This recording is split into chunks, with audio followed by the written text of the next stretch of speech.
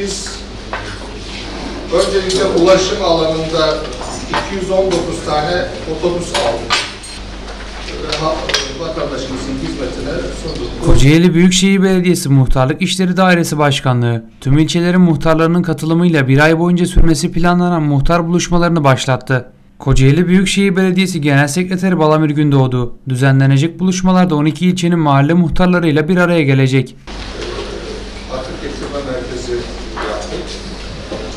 Pandemiden bugüne bazı gönül belediyeciliği adına yaklaşık 332 milyon liralık bir bütçe ayırdık. Pandemi döneminde esnafımıza e, destek verdik.